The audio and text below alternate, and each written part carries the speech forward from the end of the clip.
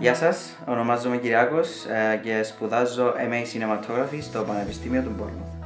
My course is very interesting because it's a part of the media school of the university and, and I'm pleased to be a part of a media school that so recognized in the industry. My course provided me with everything necessary I wanted to to be to be ready to go in industry and find a job.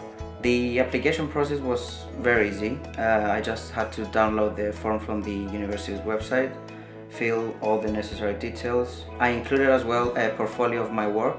We arranged the Skype interview and everything was okay. Everything is included here. Canteen, restaurant, sports facilities, the library. Generally, Talbot campus has everything, so every student is happy to be here.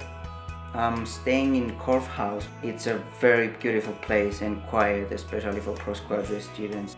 After a couple of months and uh, meeting people in the media school, I found out that there were another four or five people from Cyprus. I'm happy to have some people from my country. Bournemouth is a town that has everything that a student needs. Clubs, pubs, you can walk by the beach, there is the cinema, polite people, and Generally, it's a quiet place to live.